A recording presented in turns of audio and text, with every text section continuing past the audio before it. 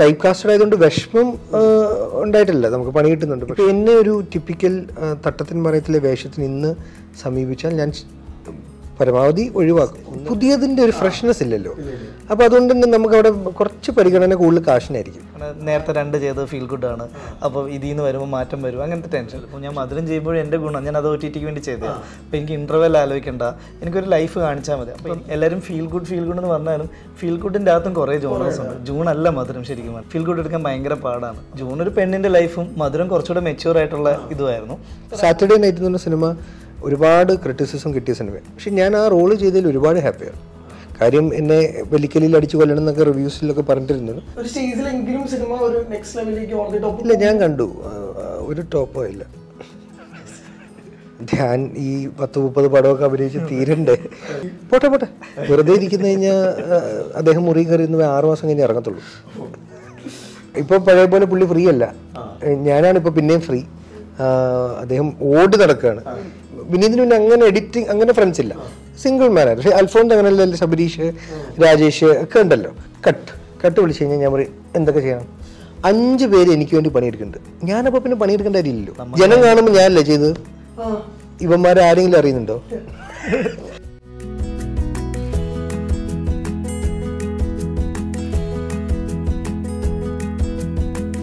So hi hello viewers welcome to show untold with Ajith ഇത് നമ്മുടെ കൂടെ untold stories പറയാനുള്ളത്. കേരള ക്രൈം ഫയൽസ് എന്ന് പറഞ്ഞിട്ടുള്ള മലയാളത്തിലെ ഫസ്റ്റ് അവർ വെബ് സീരീസിന്റെ വിശേഷങ്ങളുമായിട്ട് അജു റേസ് ഉണ്ട് കൂടെ അഹമ്മദ് കബീറും രണ്ടുപേർക്കും welcome to the show web സീരീസുകൾ വളരെ ട്രെൻഡായിട്ട് നിന്നൊരു സമയം ഉണ്ടായിരുന്നു അപ്പോൾ നിങ്ങളുടെ ജീവിതത്തിൽ ഏറ്റവും ഇൻസ്പയർ ചെയ്ത അല്ലെങ്കിൽ ഏറ്റവും ഇൻഫ്ലുവൻസ് ഉണ്ടാക്കിയ വെബ് സീരീസ് ഏതായിരിക്കും? ജസ്റ്റ് കണ്ട് ഭയങ്കര ബ്രേക്കിംഗ് ബാഡ് ആ. എനിക്ക് എനിക്ക് കൂടുതൽ ഇന്ത്യൻ സീരീസ് ഞാൻ കോവിഡ് സമയമായപ്പോഴും കുറേ കണ്ട് ഇപ്പോൾ ഈ പറഞ്ഞ കണ്ടത്. അപ്പോൾ എനിക്ക് ഫാമിലി മാൻ ആണെങ്കിലും ഡൽഹി ക്രൈം ആണെങ്കിലും പാതാൾ ലോക്ക് ആണെങ്കിലും അങ്ങനെ ഇന്ത്യൻ സീരീസ് കുറേ. പിന്നെയാണ് നേരെ വെളിയിലെ സീരീസ് എല്ലാം കാണാൻ കണ്ടത്. ഞാൻ ആദ്യം കണ്ടത് എന്നോട് ഒരാൾ അരുൺ ചന്ദ് പറഞ്ഞിട്ട് നിങ്ങൾ ഇത് കാണാതിരിക്കരുത് എന്ന് പറഞ്ഞിട്ട് കണ്ടത്. പക്ഷെ അത് യാ എപ്പിക് യാ അതെ അതെ അതെ. ഇപ്പൊ രണ്ടായിരത്തി പതിനഞ്ചിലാണ് ഇന്ത്യയിലെ ആദ്യത്തെ വെബ് സീരീസ് പതിനാല് പെർമനന്റ് റൂംമേറ്റ്സ് എന്ന് പറയുന്നത് ടി വി എഫിന്റെ വെബ് സീരീസ് പിന്നെ അത് കഴിഞ്ഞിട്ട് പിക്ചേഴ്സ് വരുന്നു. അപ്പൊ ടി വി എഫിന് അന്നത്തെ പരിപാടി എന്ന് പറഞ്ഞാൽ ഭയങ്കര ഫ്രഷ്നെസ് ഉള്ള ഒരു പരിപാടി ഉണ്ടായിരുന്നു. ഇപ്പോ ലേറ്റസ്റ്റ് സ്റ്റേജിലേക്ക് വന്നപ്പോൾ നമ്മുടെ എല്ലാവരുടെയും പറഞ്ഞ ജീവിതത്തിലോട് ഭയങ്കര ഭാഗമായിട്ടുള്ളതൊക്കെ കുറെ വർഷങ്ങൾക്ക് മുമ്പ് പ്ലോട്ട് ചെയ്തിട്ടുള്ള.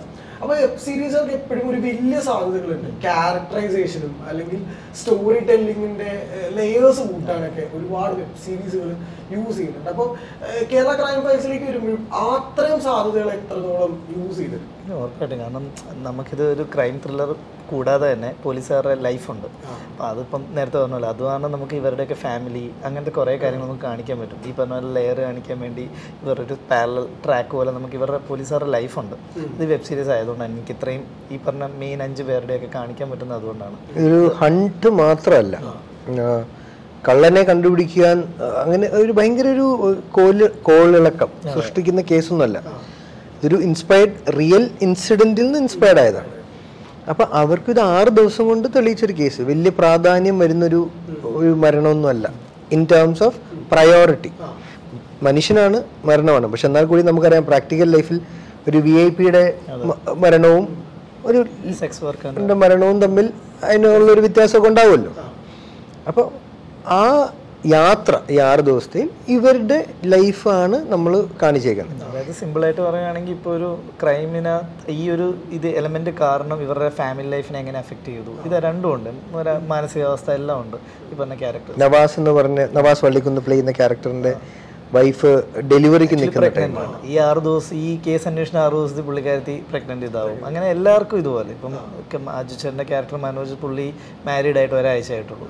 അപ്പോൾ ഭാര്യയായിട്ടൊന്ന് സെറ്റ് ആകുന്നുള്ളൂ അറേഞ്ച് മാരേജ് ആണ്. അപ്പോൾ ആ സമയത്ത് കേസ് വന്നു. അമ്മായച്ചനെ കാണുന്ന ഒരു സീനൊക്കെ ഉണ്ട് അപ്പൊ ഞാൻ പറഞ്ഞു പൂർണമായും കള്ളനെ പിടിക്കൽ മാത്രമല്ല. ക്യാരക്ടേഴ്സും ലൈഫും കൂടെ സീരീസ്. ഇപ്പൊ ഇപ്പൊ വെബ് സീരീസിന്റെ അതേ സാധ്യതകൾ പറയുമ്പോൾ ഇപ്പൊ റിയൽ ലൈഫായിട്ട് ഇൻസ്പയർഡ് ആയിട്ടുള്ള ചില കാര്യങ്ങൾക്ക് നമ്മുടേതായിട്ടുള്ള ഫ്ലേവറുകൾ ആഡ് ചെയ്യാന്ന് പറയുന്ന പോയിന്റ് ഉണ്ട്.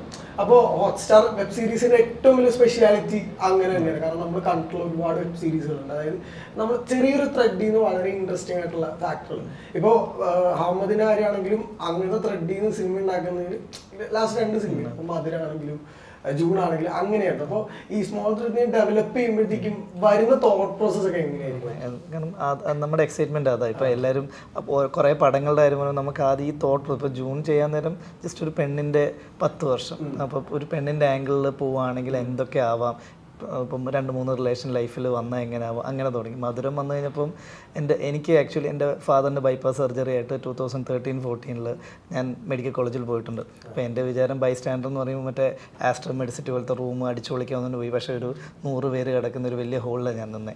അപ്പോൾ അന്ന് തൊട്ട് ഞാൻ പക്ഷേ ഞാൻ രണ്ട് ദിവസത്തെ ഇവരുമായിട്ട് ഫാമിലി പോലെ ഫുഡ് ഷെയറിങ് കാണുന്നു നമ്മൾ ചീട്ട് കളിക്കുന്നു ഭയങ്കര അടിപൊളി. അപ്പോൾ ഇത് അന്ന് തൊട്ട് എന്റെ മനസ്സിൽ സ്ട്രൈക്ക് ചെയ്തിട്ടുണ്ട്. അപ്പം ഇങ്ങനത്തെ പ്ലോട്ടുകൾ നമുക്ക് വരുമ്പോൾ ഓക്കെ നമുക്ക് എന്നാൽ ചെയ്യാം. അങ്ങനെ അതുപോലെ ഇപ്പോൾ ഇത് വന്നപ്പോഴും നമ്മൾ വേറൊരു കഥയ്ക്ക് വേണ്ടി ഒരു പോലീസ് സ്റ്റേഷനിൽ പോകുന്നു വേറൊരു കഥ അന്വേഷിക്കുന്നു. പക്ഷേ പുള്ളി അന്വേഷിച്ച ഒരു കേസ് ഇങ്ങോട്ട് പറയുന്നു. അപ്പോൾ പെട്ടെന്ന് അതിന്റെ ത്രെഡ് ഇഷ്ടപ്പെടുന്നു. പക്ഷേ ഞാനത് സിനിമയായിട്ട് ചെയ്താൽ എനിക്കറിയത്തില്ല. കാരണം ഒരു പ്രോപ്പർ ത്രില്ലറായിട്ട് വന്ന അതിന്റെ ക്ലൈമാക്സ് വർക്കാവും നമുക്ക് കുറേ ഡൗട്ട് വരുമല്ലോ. കാരണം നേരത്തെ രണ്ട് ചെയ്തത് ഫീൽ ഗുഡ് ആണ്. അപ്പോൾ ഇതിൽ നിന്ന് വരുമ്പോൾ മാറ്റം വരും. അങ്ങനത്തെ ടെൻഷൻ പക്ഷേ ഒരു വെബ് സീരീസിലേക്ക് വന്നപ്പോൾ ഞാൻ വിചാരിച്ചു ഓക്കെ എനിക്ക് എന്റേതായ കുറേ പോസിറ്റീവ്സും കാര്യങ്ങളും കൊണ്ടുവരാം. ഫാമിലി കൊണ്ടുവരാം വൈഫിനെ കൊണ്ടുവരാം ഇവരുടെ കുറച്ച് നമ്മുടെ കുറച്ചുകൂടെ ഹ്യൂമൻ ഇമോഷൻസ് കൊണ്ടുവരാം. കൂടെ ഞാൻ വർക്ക് ചെയ്യാം. അതായത് എനിക്ക് ഞാൻ പുതിയതായിട്ട് ചെയ്യുന്ന ത്രില്ലർ എലമെന്റ് എനിക്ക് കുറേ ത്രില്ലേഴ്സ് ഇഷ്ടമാണ്. അപ്പോൾ എനിക്ക് കുറച്ച് ത്രില്ലർ എലമെന്റ് കാണിക്കാം. അപ്പോൾ ഇതെല്ലാം കൂടെ കമ്പൈൻ ചെയ്ത സംഭവം. സാധാരണ പോലീസ് സ്റ്റോറിയിൽ ലിമിറ്റേഷൻസ് കാണിക്കില്ലല്ലോ. ഹീറോയിക് ആണല്ലോ. ഇവിടെ ഹീറോയിക് അല്ല. അവരുടെ അവസ്ഥകളും അപ്പൊ നമുക്ക് അങ്ങനെ ഒരു സിനിമ കണ്ടേക്കുന്നതെന്ന് പറഞ്ഞാൽ ഇപ്പം കമ്പയർ ചെയ്യുന്നല്ല ഇങ്ങനത്തെ ഒരു പശ്ചാത്തലത്തിൽ ജെനുവൻലി ഒരു പോലീസ് സ്റ്റോറി പറഞ്ഞു കേട്ടേക്കുന്നത് ഇപ്പൊ ആക്ഷൻ ഹീറോ ബിജു അതിൽ ആ കഥ പോലെ അല്ല അല്ല അല്ലെങ്കിൽ അതിന്റെ ഞാൻ പറയാൻ ആ സിനിമ എടുത്ത് പറയാൻ കാര്യം?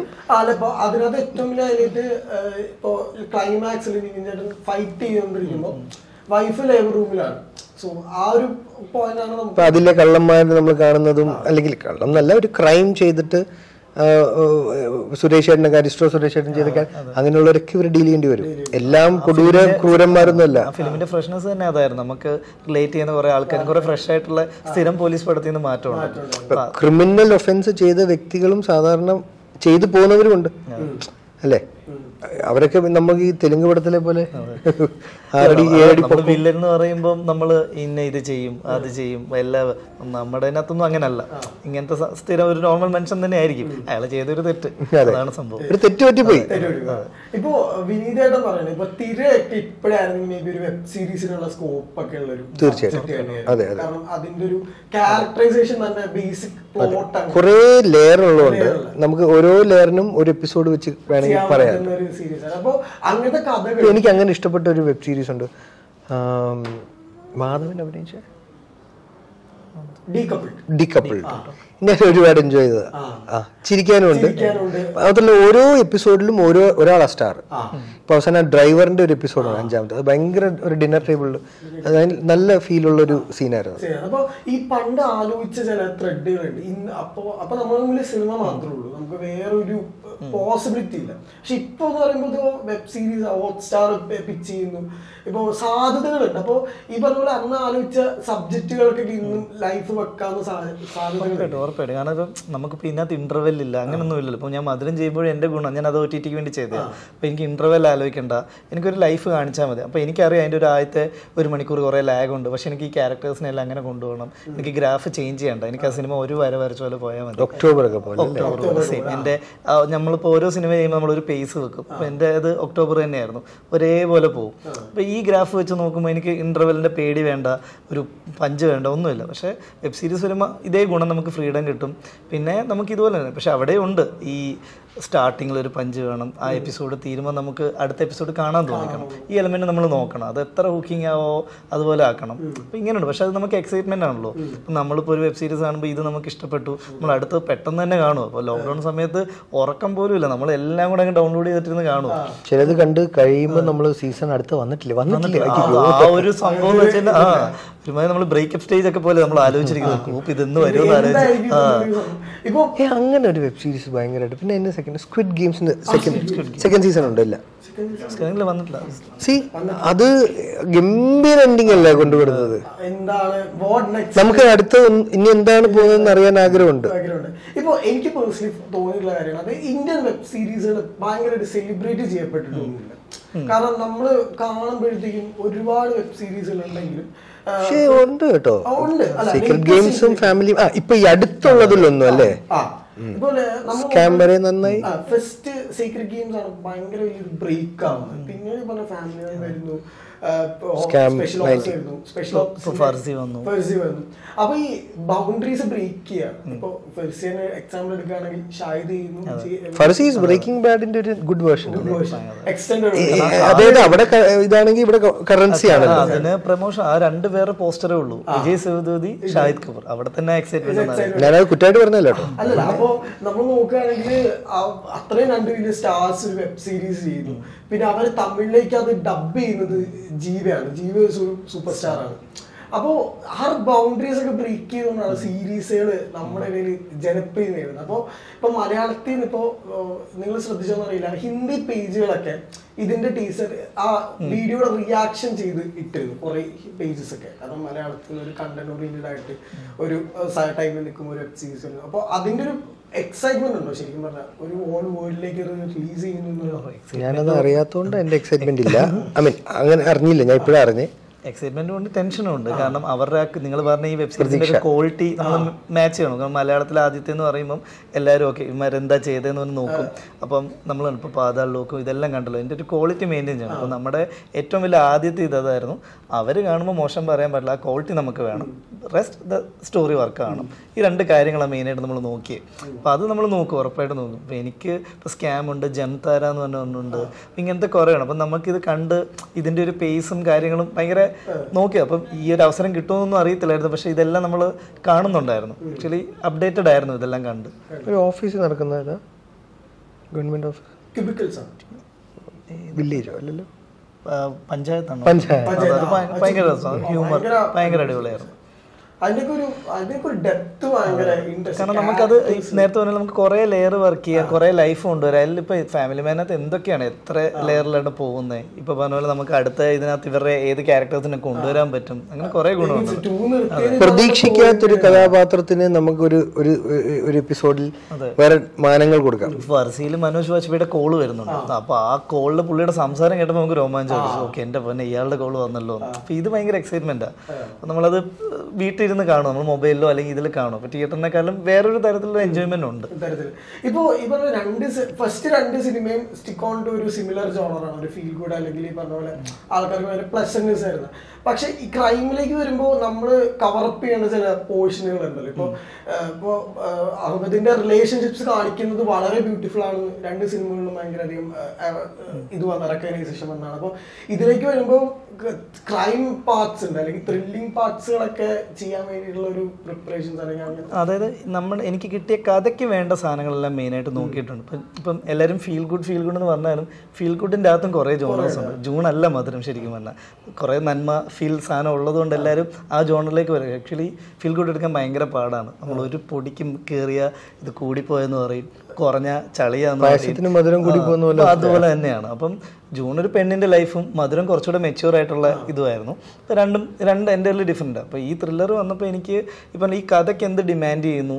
പിന്നെ എനിക്ക് ആക്ച്വലി എല്ലാവരും ഇപ്പം നമ്മുടെ ക്യാരക്ടേഴ്സിനെ എല്ലാം നമ്മൾ പറഞ്ഞോ അറിയാതെയോ ഇവരുടെ ഒരു ലെയറും കാര്യങ്ങളെല്ലാം വർക്കാവും ഇപ്പോൾ എക്സാമ്പിൾ ഇപ്പോൾ ഇതിനകത്ത് ഒരു സെക്സ് വർക്കിന്റെ കേസാണ് ഇപ്പോൾ ഇതിനകത്ത് നമ്മൾ പ്രോസ്റ്റിറ്റ്യൂട്ട്സിനെ കാണിക്കുന്നുണ്ട്. നമ്മൾ സ്ഥിരം സിനിമയിലും എല്ലാവരും പ്രോസ്റ്റിറ്റ്യൂട്ട്സിനെ കാണിക്കുന്ന പോലല്ല ഇതിനകത്ത്.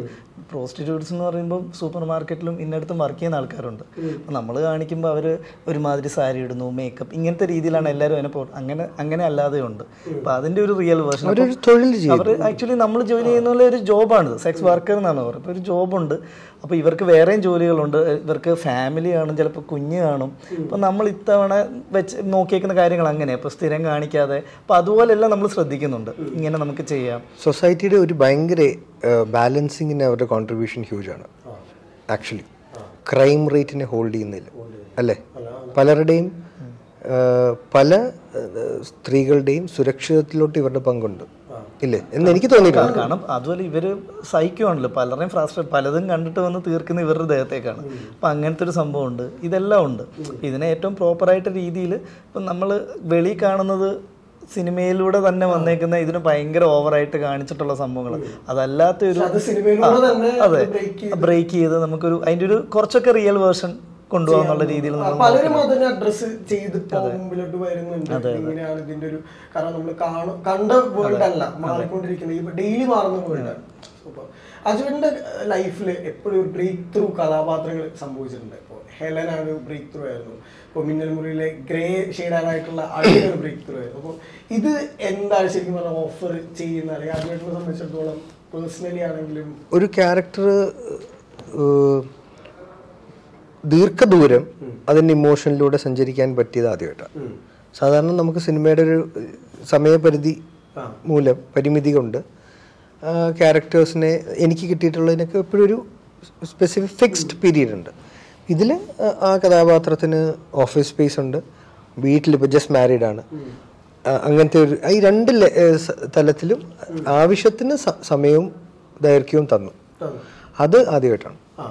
ഇപ്പോ ഇപ്പൊ പറഞ്ഞ പോലെ ഹെലനിലൊക്കെ ആണെങ്കിൽ നമ്മൾ കാണുന്നൊരു അജുവറീസ് അല്ല അതിനകത്തുനിന്ന് ഇപ്പൊ നമ്മൾ ഫസ്റ്റ് കണ്ടപ്പോ ട്രെയിലറിലും ടീസറിലും അല്ലാണ്ട് കാണുന്ന ഒരാൾക്ക് അജുവേട്ടൻ വന്നു. അപ്പൊ വേറൊരു ട്രാക്കിലേക്ക് പോകുന്നിടത്തുനിന്നാണ് കുറച്ചുകൂടെ നമ്മളെ ഭയങ്കരമായിട്ട് ദേഷ്യം പിടിപ്പിക്കുന്ന അല്ലെങ്കിൽ നമുക്ക് ഇയാളോട് ഭയങ്കര ദേഷ്യം തോന്നുന്ന ഒരു ക്യാരക്ടറായിട്ട് അത് പ്ലോട്ട് ചെയ്യുന്നു അപ്പോ ഇതിലും ഈ പറഞ്ഞ മുൻവിധികളിൽ നിന്നും ഈ പറഞ്ഞ പോലെ തെറ്റ് മുൻവിധികളെ പൊളിച്ചു ചെയ്യുന്ന കഥാപാത്രങ്ങൾ ചെയ്യാൻ ഇഷ്ടമാണ് ഏത് നടനും ഇഷ്ടം? ഇപ്പൊ ഹെലനിൽ അത് കൃത്യം അത് വർക്കാവാൻ കാര്യം അത് എഡിറ്റ് പ്ലേസ്മെന്റ് ഉണ്ട്.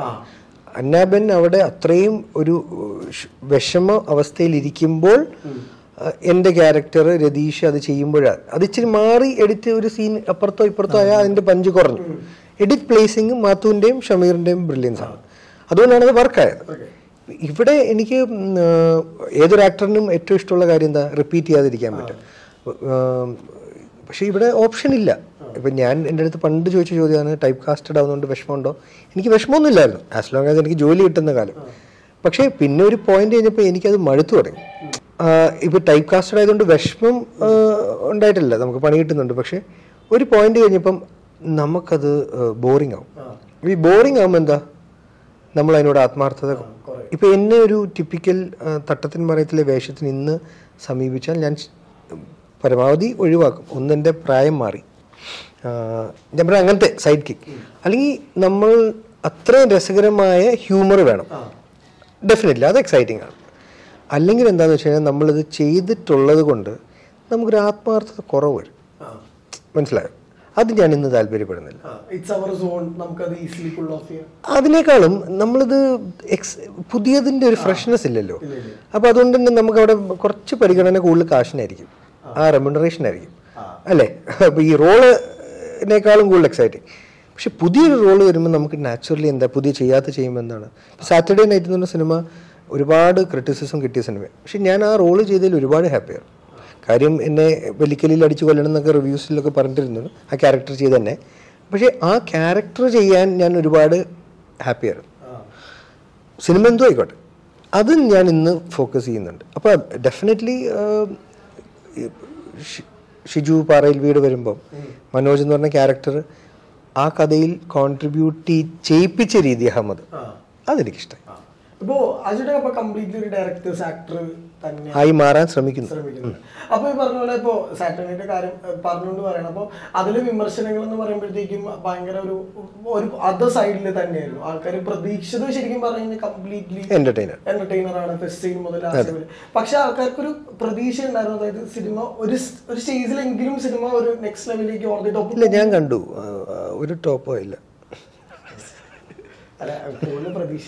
ഉണ്ടായിരുന്നു ഡെഫിനറ്റ്ലി ഉണ്ട്. അതുകൊണ്ടാണല്ലോ കേരളം മുഴുവൻ നമ്മൾ മാർക്കറ്റ് ചെയ്തത്.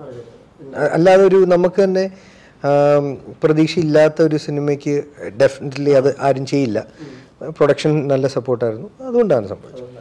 ഇപ്പോൾ നമ്മൾ നോക്കുകയാണെങ്കിൽ ഇപ്പോൾ ഒരുപാട് സിനിമകളുടെ റൂമറുകൾ പുറത്തൊക്കെ ഭയങ്കരധികം ശ്രദ്ധിക്കപ്പെടുന്നു ഇപ്പോൾ ഏറ്റവും കൂടുതൽ ഫെന്റാസ്റ്റിക്കിന്റെ ബാനറിൽ അടുത്ത് വരാൻ പോകുന്ന സിനിമയെ കുറിച്ച് ഭയങ്കരധികം ചർച്ചകൾ നടക്കുന്നുണ്ട്. ഇപ്പോൾ വിനീതേട്ടൻ അല്ലെങ്കിൽ പ്രണവ് ആ ഒരു കോമ്പിനേഷനിൽ ഒരു സിനിമ ഇല്ല ഇല്ല. ഫാന്റാസ്റ്റിക് അല്ല. അല്ല. ഒരു സിനിമ വരും എന്നുള്ളൊരു അത് ചെയ്യും. ആ ഈ വർഷമായിരിക്കില്ല. ധ്യാൻ ഈ പത്ത് മുപ്പത് പടമൊക്കെ അഭിനയിച്ച് തീരണ്ടേ. അപ്പൊ അത് കഴിഞ്ഞ് ചെയ്യും. വിനീതിന്റെ സിനിമയിൽ ധ്യാൻ ഉണ്ടെന്ന് ധ്യാൻ തന്നെ പറഞ്ഞിട്ടുണ്ടല്ലോ. അത് നമ്മളല്ല പ്രൊഡക്ഷൻ ഇല്ല നമ്മൾ ഫണ്ടാസ്റ്റിക് അല്ല. ആരാണെന്നുള്ളത് വിനീതും എനിക്കൊന്ന് എഴുത്തിലാണ്. എഴുത്ത് കഴിഞ്ഞിട്ട് വിനീത് ആരാണെന്നുള്ള അറിയില്ല. അല്ല. അല്ല കൺഫേംഡ് അല്ല. ധ്യാൻ ഡയറക്റ്റ് ചെയ്യുന്ന പടം ഉറപ്പായിട്ടും ചെയ്യും. അവൻ എഴുതി തുടങ്ങിയിട്ടില്ല. പക്ഷേ കഥ പറഞ്ഞിട്ടുണ്ട്. നിവിനോടാന്ന് തോന്നുന്നു പറഞ്ഞത്. അപ്പം അവരുടെ ഇനി അടുത്ത നിവിന്റെയും സിനിമകളുണ്ടല്ലോ. അതിനേക്കാളും തിരക്ക് ധ്യാനാണല്ലോ ഇപ്പം. ആ, അഭിനയിച്ച് തീർക്കണ്ടേ? അപ്പം അത് കഴിഞ്ഞിട്ട് തീർച്ചയായിട്ടും ചെയ്യും. പോട്ടെ പോട്ടെ. വെറുതെ ഇരിക്കുന്ന കഴിഞ്ഞാൽ അദ്ദേഹം മുറി കയറി ആറ് മാസം കഴിഞ്ഞ് ഇറങ്ങത്തുള്ളൂ.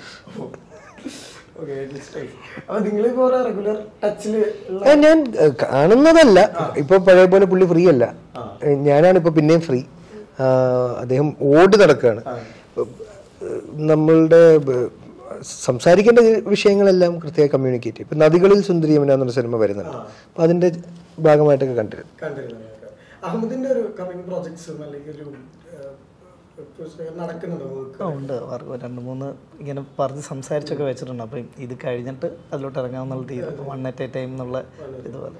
ഇപ്പോൾ ഈ പറഞ്ഞ രാഹുലിനെ കുറിച്ച് നമുക്ക് എന്തെങ്കിലും പറയാതിരിക്കാൻ പറ്റില്ല. ഒരു പ്രൊഡ്യൂസറാണ് മോർ ദാൻ ഒരു നാഷണൽ അവാർഡ് വിന്നറാണ് അപ്പൊ പ- പുള്ളി ഇത് ഇതിനു വേണ്ടി ഇറങ്ങാന്ന് പറയുമ്പോഴത്തേക്കും ആൾക്കാർക്കും ഒരു പ്രതീക്ഷയുണ്ട്. ഇപ്പൊ പറഞ്ഞ പോലെ തന്നെ അദ്ദേഹം ചെയ്ത സിനിമകളിലാണെങ്കിലും അല്ലെങ്കിൽ അദ്ദേഹത്തിന്റെ ക്യാരക്ടറൈസേഷനും ഒരു ഭയങ്കര ഇൻട്രസ്റ്റിംഗ് ആയിട്ടുള്ള കാര്യങ്ങൾ. ഇപ്പൊ മമിതയുടെ വലിയൊരു ബ്രേക്ക് അത് ഈ ചെറിയ പ്രായത്തിൽ നാഷണൽ സ്റ്റേറ്റ് ഒക്കെ വാങ്ങുന്ന ചെറിയ കാര്യമല്ല. എനിക്ക് കൊതി വരുന്ന കാര്യമാണ് അതെ. ഞങ്ങൾ രാഹുലേട്ടൻ ഇത് ഞങ്ങൾ ജേർണി ഭയങ്കര അടിപൊളിയായിരുന്നു. അതായത് ഇപ്പോൾ ഇതിന്റെ നറേഷന്റെ ഇപ്പം ഞങ്ങൾ മ്യൂച്വൽ ഫ്രണ്ട്സ് ഉണ്ട്. അതായത് എന്റെ പടത്തിലെ അസോസിയേറ്റ് അസിസ്റ്റൻസും പുള്ളിയുടെ ഫിലിമിലെ സെയിം ആൾക്കാർ അപ്പം മ്യൂച്വൽ ലിസ്റ്റ് ഉണ്ട്. പിന്നെ ഞങ്ങൾ ടർഫ് ക്രിക്കറ്റ് കളിക്കും. എല്ലാ ആഴ്ചയിലും രണ്ട് മൂന്ന് തവണ ഞങ്ങളെല്ലാം മീറ്റ് ചെയ്യും ഒരു ഗ്യാങ് ഉണ്ട്. അപ്പോൾ അങ്ങനെ ഇതിന്റെ നറേഷന്റെ തലേ ദിവസം ഈ പറഞ്ഞ എന്റെ ഒരു അസോസിയേറ്റ് ഉണ്ട് ശ്രീകാന്ത് എന്ന് പറഞ്ഞ അവൻ വിളിക്കുന്നു. അപ്പോൾ ഇതിനൊരു പ്രൊഡക്ഷൻ വേണം. അപ്പം രാഹുലേട്ടൻ ഇൻട്രസ്റ്റഡാ വരുന്നോ എന്ന് ചോദിക്കുന്നു. അപ്പോൾ നമ്മൾ ചുമ്മാ പുള്ളിയുടെ ഫ്ലാറ്റിൽ പോകുന്നു. നമുക്കറിയത്തില്ല നാളെ എന്താ നടക്കുന്നത്. അപ്പോൾ രാവിലെ നിങ്ങളും വാ. അപ്പോൾ നമ്മൾ രണ്ടുപേരും പോകുന്നു. ഞങ്ങൾ നറേറ്റ് ചെയ്യാൻ പോകുമ്പോൾ ഈ പറഞ്ഞ ഇവിടുത്തെ കുറച്ച് ഹെഡായിട്ടുള്ള മൂന്നാൽ പേരുണ്ട്. നമ്മൾ നറേറ്റ് ചെയ്യുന്നു. അങ്ങനെ ഈ സംഭവം സീരിയസ് ആകുക അപ്പോൾ നമ്മൾ പറയുന്നു. അപ്പോൾ അവർക്ക് ഇഷ്ടപ്പെടുന്നു. പിന്നെ ഒരുമിച്ചുള്ള ജേർണിയാണ് അപ്പോൾ നമുക്കും അറിയത്തില്ല ഇത് ഫസ്റ്റ് ആണല്ലോ. അതുകൊണ്ട് നമുക്ക് ആർക്കും അറിയത്തില്ല ഇതിന്റെ പ്രോസസ്സ് എങ്ങനെയാണ് എന്താ. പക്ഷേ രാവിലെ തന്നെ ഈ പറഞ്ഞ പോലത്തെ ഡീലിങ് അവർ ഉറപ്പായിട്ട് ഇത് ഓണാക്കാൻ ഭയങ്കര പാടാണ്. ഭയങ്കര ഇതിന്റെ പ്രോസസ്സ് ചുമ്മാ ഒരു നോർമൽ ഒരു പ്രൊഡക്ഷൻ നോക്കുന്ന ആൾക്കാർക്ക് പറ്റത്തില്ല. അത് ഹൺഡ്രഡ് പെർസെന്റ് ഉറപ്പ് ഇതിന്റെ ഒരു ഒരിക്കലും നമ്മൾ ഡീൽ ചെയ്യുന്നത് ഒരു ഹൈ എൻഡ് കോർപ്പറേറ്റ് ആണ്. അത് ഭയങ്കര പാടാണ്. എഗ്രിമെന്റ് ഒക്കെ ഇത്ര ഉണ്ടോ? ഇത്രയും പേജ് ഉണ്ടോ? ഇത് വായിച്ചു തന്നെ നമുക്ക് തീർക്കാൻ പറ്റും. ക്ലോസ് ഇപ്പം ഞാനാണ് എനിക്ക് ഒറ്റയ്ക്കാണ് ഇത് ചെയ്യുന്നത്. ചിലപ്പോൾ ഞാൻ ഇത് ചെയ്യത്തില്ല. കാരണം ഇത് വായിച്ച് ഞാൻ വായിക്കത്ത പോലും ഇല്ലായിരിക്കും എനിക്ക്. എനിക്ക് അതിന് ടൈം ഇൻവെസ്റ്റ് ചെയ്യാനോ അല്ലെങ്കിൽ അത്രയുണ്ട്. ഉണ്ട് അതുപോലത്തെ ഒന്നല്ല കുറേ ഉണ്ട്. ഓരോ കാര്യത്തിലും ഉണ്ട്.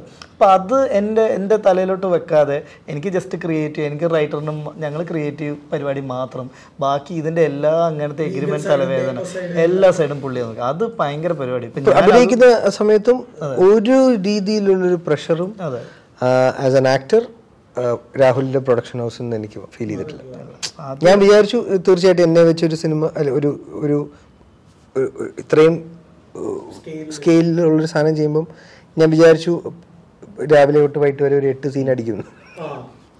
ഞാനാണ് ചെയ്യൂട്ടോ. അതുകൊണ്ട് ഞാനത് കാര്യം കാശ് എന്നെ- നമുക്കൊരു ബഡ്ജറ്റ് ഒരു ഇത് വേണ്ട? ഇന്നാളെ വെച്ച് ഒരു സ്റ്റാർ ആണെങ്കിൽ ഓക്കെ നമുക്ക് മനസ്സിലാക്കാം. നമുക്ക് റിലാക്സ് ചെയ്ത് ക്വാളിറ്റി ഇതൊരു ക്വാളിറ്റി കോംപ്രമൈസ് ചെയ്യാതെ നമുക്ക് സ്പേസ് തന്നുകൊണ്ട് അറുപതാം ദിവസം വരെ. എനിക്ക് തോന്നുന്നു അങ്ങനെയുള്ള പ്രൊഡ്യൂസേഴ്സ് ഇപ്പൊ ലവ് ആക്ഷൻ ചെയ്ത ഒരു ടൈമിൽ ആദ്യമായിട്ട് തന്നെ പറഞ്ഞിട്ടുണ്ട്. എങ്ങനെയാണ് ഓരോ ദിവസം ഷൂട്ട് പോയത്? അതെ അതെ.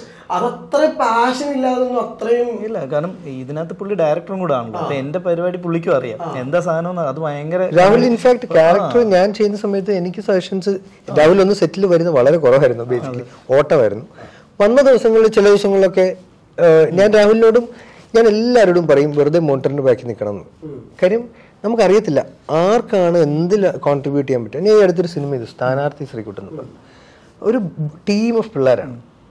ഡയറക്ടർ എഡിറ്റർ ക്യാമറാമാൻ ആ ക്യാമറാമാൻ ആവാസ വ്യൂൺ ചെയ്തല്ലേ അപ്പം ഇവരെല്ലാം ഒരു ഫ്രണ്ട്സാണ് ഇപ്പൊ പ്രേമമൊക്കെ നേരെ അൽഫോൺസ് അല്ലെങ്കിൽ വിനീതിന് പിന്നെ അങ്ങനെ എഡിറ്റിംഗ് അങ്ങനെ ഫ്രണ്ട്സ് ഇല്ല.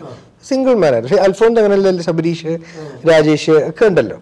അപ്പൊ ഇവർ ഞാൻ ഇവരടുത്ത് ഷൂട്ടിന്റെ സമയത്ത് പറഞ്ഞു ആക്ഷൻ മോണിറ്ററിന്റെ ബാക്കിൽ നിന്നിട്ട് എല്ലാവരും ചെക്ക് ചെയ്യണം. കട്ട് കട്ട് വിളിച്ചു കഴിഞ്ഞാൽ ഞാൻ പറയും എന്തൊക്കെ ചെയ്യണം? അഞ്ച് പേര് എനിക്ക് വേണ്ടി പണിയെടുക്കുന്നുണ്ട്. ഞാനപ്പോൾ പിന്നെ പണിയെടുക്കേണ്ട കാര്യമില്ലല്ലോ. പക്ഷെ അങ്ങനെ ആക്ടർ പറയുന്നത് ഭയങ്കര സർപ്രൈസിങ് അല്ലേ? പക്ഷെ ആക്ടർക്ക് ഏറ്റവും ഗുണമതല്ലേ ഈ അഞ്ച് പേരിൽ പറയുന്ന ചേട്ടാ ആ കൈ ഇങ്ങനെ പൊക്കിയിട്ട് പറഞ്ഞ ഈ കൈ ഇങ്ങനെ താത്തിട്ട് പറഞ്ഞ അന്ന് സ്പീഡ് കുറച്ച് പറഞ്ഞ എല്ലാം എടുത്തു. ഓക്കെ. ജനം കാണുമ്പോൾ ഞാനല്ലേ ചെയ്ത് ഇവന്മാരെ ആരെങ്കിലും അറിയുന്നുണ്ടോ? ഞാൻ പറഞ്ഞില്ലെങ്കിൽ ഇത് നമുക്ക് ഇപ്പോൾ ഡയറക്ട് ഫിലിം മേക്കേഴ്സിന് കിട്ടുന്ന ഭയങ്കര ഫ്രീഡം ആണ്. ഇത് നമ്മൾ പറയുന്ന ഒരു കാര്യം കേൾക്കാൻ ഇവർ നിൽക്കുന്നു അതിനൊരു ടൈം തരുന്നു. അത് ഭയങ്കര സംഭവം തന്നെയാണ്. അല്ല സാധാരണ ഇങ്ങനെ ആക്ടേഴ്സ് പറയും ചേട്ടാ ഇങ്ങനെ ചെയ്തിരുന്നെങ്കിൽ ഓ അതൊന്നും വേണ്ട. അല്ല എൻഡ് ഓഫ് ദ ഡേ ഇത് അഹമ്മദിനേക്കാളും സ്റ്റാൻസ് ക്യാമറ ചെയ്ത സ്റ്റാൻസ് ബ്രില്യൻ വർക്ക് രാഹുലിനേക്കാളും ഇത് ഗുണം എനിക്കാണല്ലോ ചെയ്യുന്നത്. നന്നായി ചെയ്തത്. അപ്പോൾ ആത്യന്തികമായും എനിക്ക് ഗുണം വരുന്നൊരു കാര്യമാണ് ഇപ്പൊ ആക്ടർക്ക് വേണ്ടിക്ക് എങ്ങനെ ഇപ്പൊ ലാൽ സാറായിട്ട് കോമ്പിനേഷൻ സീൻസുകളുണ്ട് എന്റെ ലൈഫിലെ ടേണിംഗ് പോയിന്റ് ആയിട്ടുള്ള സിനിമയിലൊക്കെ ലാൽ സാർ ഉണ്ടായിരുന്നു സക്രിയയുടെ ഗർഭിണികൾ എന്ന് പറഞ്ഞ സിനിമ ഹെലൻ എന്ന് പറഞ്ഞൊരു സിനിമ പിന്നെ ഇത്. ഞാൻ അദ്ദേഹത്തിനോട് അങ്ങനെ രണ്ട് സിനിമകളിനും അത് ഭയങ്കര കോൺഫിഡൻസ് ആയിരുന്നു. ഹെലൻ ചെയ്യുന്ന സമയത്ത് എന്റെ ഫസ്റ്റ് കോമ്പിനേഷൻ ലാൽ സാറായിട്ടാണ് അപ്പം ഞാനൊരു ഷോർട്ട് എടുത്തു മാത്തുക്കുട്ടി പറഞ്ഞ പോലെ ഞാൻ ലാൽ സാറിനോടാണ് ചോദിച്ചത് ഓക്കെ ആണോ? അപ്പോൾ സാറ് ഒന്നുകൂടെ ചെയ്തു. അപ്പോൾ ഞാൻ പറഞ്ഞു ഒന്നുകൂടെ എടുക്കാം. സാർ ആ ഓക്കെ. അത് പറയുന്നത് ലാൽ എന്ന് പറഞ്ഞ ഡയറക്ടറും ഉണ്ട്. നമുക്കറിയാം അതെ അദ്ദേഹം എന്താണ്. അപ്പൊ അത് ഭയങ്കര കോൺഫിഡൻസ് എനിക്ക് തോന്നുന്നു അഹമ്മദ് അത് പുള്ളിയുടെ ആക്ച്വലി ഒരു ഫാൻ കാരണം നമ്മൾ സ്ഥിരം ഇപ്പൊ കൂട്ടുകാരോട് യൂസ് ചെയ്യുന്ന കൗണ്ടർ വരെ പുള്ളി എഴുതി വെച്ച സിനിമ. എന്തൊക്കെയാണെങ്കിലും ഒരു ബാത്റൂമിന് കുറ്റിയില്ലെങ്കിൽ നമ്മൾ പറയുന്നത് ഒന്നേ തള്ളി പിടിക്കാൻ മൂളിപ്പാട്ട്. ഈ ഇമാതിരി കൗണ്ടർ നമ്മൾ ഇപ്പോഴും പറയുന്നുണ്ട്. അപ്പൊ ആ പുള്ളിയാണ് ഞാൻ ഇപ്പോൾ ഡയറക്റ്റ് ചെയ്യുമ്പോൾ പുള്ളി വന്നിരിക്കുന്നത് അതും ഞാൻ എഴുതിയ ഡയലോഗും കാര്യങ്ങളും നമ്മൾ വെച്ചേക്കുന്ന സാധനം ചെയ്യാൻ വേണ്ടി വന്നിരിക്കുക അപ്പോൾ അത് ഭയങ്കര പിന്നെ ഇവരുടെ കോമ്പിനേഷൻ ഭയങ്കര അടിപൊളിയായിരുന്നു. നമ്മൾ ആക്ച്വലി അമ്പത്തിനാല് ദിവസത്തിൽ ഷൂട്ട് ചെയ്ത് പക്ഷേ എഴുപത്തെട്ട് ലൊക്കേഷനുണ്ട് കാമായിട്ട് ഷൂട്ട് ചെയ്തതിൽ നമ്മൾ നിർത്താതെ പണിയെടുക്കുന്നുണ്ട്. പക്ഷേ ഇവരുടെ സീൻസ് എല്ലാം ഭയങ്കര ഫാസ്റ്റാണ് കോമ്പിനേഷൻ ഭയങ്കര വർക്കാണ് സംസ് നമ്മൾ വരുന്നു സീൻ എങ്ങനെയാണെന്ന് പറയുന്നു അങ്ങോട്ടും ഇങ്ങോട്ടും പെട്ടെന്ന് കൊറിയോ വരുന്നു. ഭയങ്കര എല്ലാം ഭയങ്കര ഇതായിരുന്നു. അപ്പോ ഏഹ്, കേരള ക്രൈം ഫയൽസ് ഉടനെ തന്നെ സ്ട്രീമിംഗ് ഉണ്ടാകുന്നുണ്ട്. ഡിസ്നി ഹോട്ട്സ്റ്റാർ അപ്പോൾ എല്ലാവരും സ്റ്റേറിന് ബിഞ്ച് വാച്ച് ചെയ്യാൻ ശ്രമിക്കുക. അപ്പോൾ എല്ലാവിധ ആശംസകളും നേരെയാണ് ഇനിയും ഒരുപാട് നല്ല സിനിമകൾ ഇപ്പോൾ അതിനോട് പറഞ്ഞ പോലെ തന്നെ ആസ് എ പ്രൊഡ്യൂസറായിട്ടും ഒരുപാട് സിനിമകൾ കാണാൻ ആഗ്രഹിക്കുന്നു. കാരണം അത്രയും പാഷനേറ്റ് ആയിട്ടുള്ള ഒരു പ്രൊഡ്യൂസർ കൂടിയാണ്. അപ്പോൾ ഒരു ആക്ടറായിട്ടും എല്ലായിട്ടും ഇപ്പോൾ അഹമ്മദിനാണെങ്കിലും വർക്കുകൾ പ്രതീക്ഷിക്കുന്നുണ്ട്. അപ്പോൾ എല്ലാവിധ ആശംസകളും. Thank you thank U